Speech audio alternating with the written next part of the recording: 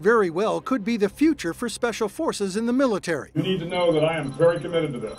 At a conference of engineers and defense executives, the head of Special Operations Command is talking about Talos, the tactical assault light operator suit, or in other words, Iron Man.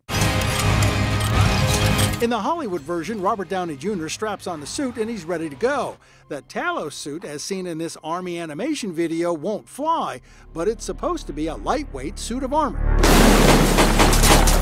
It's not going to be easy by any means, but we are in the realm of possible to make this happen. Ekso Bionics is a Richmond, California based company which has already developed a bionic exoskeleton designed to help those who wear it carry heavier loads. The idea of an Iron Man suit for the military really isn't all that far fetched. In fact, motorized exoskeletons that help the paralyzed to walk have been in production for years.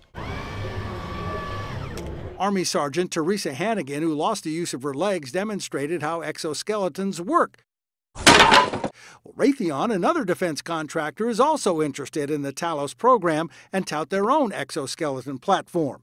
The idea behind Talos is better protection, especially for special forces, who, quote, have to open the door not knowing what's behind it. Technology has really advanced in the, in the past 10 years, and you don't see that same level of, of advancement for, for soldier protection and their gear. Right now, Talos is only an idea, and as the Army's animated video indicates, to be continued.